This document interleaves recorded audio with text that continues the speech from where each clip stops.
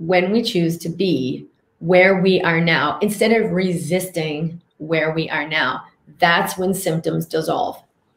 That because of the increase in frequency that has, we've seen medically in scientific studies, pain decreases, inflammation decreases, even the genes that express disease get turned off.